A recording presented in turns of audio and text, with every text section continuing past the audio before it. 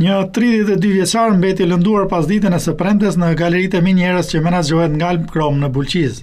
Punëtori i nëntokës është goditur nga gurët teksa ishte në frontin e punës. Ai është dërguar menjëherë në spitalin e Bulqizës, ku edhe ka marrë ndihmën e nevojshme dhe fatmirësisht ndodhet jashtë rrezikut për jetën.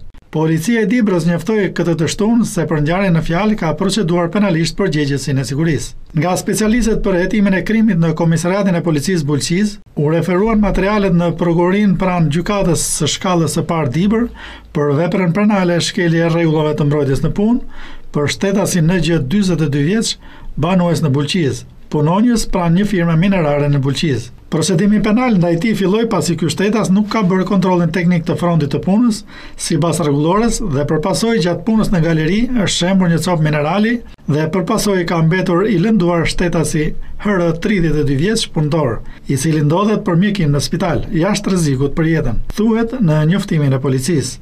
Ngjarje të tilla aksidentale po bëhen të shpeshta në galeritë e kromit në Bulqizë, ndërsa në disa raste kanë qenë edhe fatale me humbje jete njerëzish.